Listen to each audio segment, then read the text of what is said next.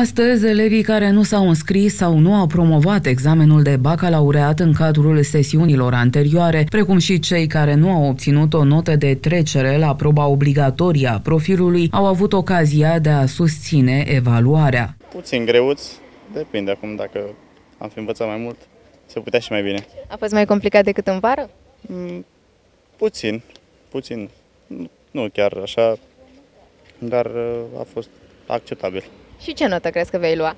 Nu știu, sperăm un 5, un 6 momentan. Nu prea am învățat, dar sperăm să luăm un 5 sau un 6. La matematică. Și cum ți s-au părut subiectele? Ok, ușoare.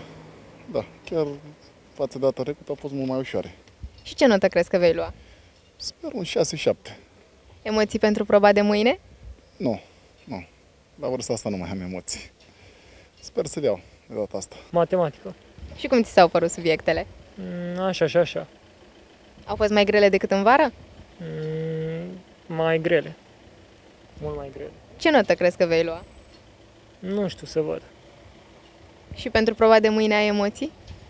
Mm, Da, am. Salut! A fost destul de ușurel, ținând cont că a fost a doua sesiune. Nu au fost chiar atât de grele subiectele. Adică, La cât te aștepți? o notă sinceră, important e să fie de trecere și nu știu, sincer, habar n-am. Cred că aproximativ șapte. Ai emoții pentru proba de mâine? Uh, nu mai am probă pentru mâine. Doar astăzi am avut la matematică. La matematică. Și cum a fost subiectele? Ok, pot să spun. La cât te aștepți? La ce mă te aștepți? Nu știu, chiar nu știu. O să vedem rezultatele. La istorie. Subiectele cum au fost? Au fost destul de ușoare. Mai ușoare decât cele din vară? Nu, La ce te aștepți? La ce mă te aștepți? în jur de șapte, vă puțin. Ai emoții pentru proba de mâine? Nu, am dat doar astăzi la istorie.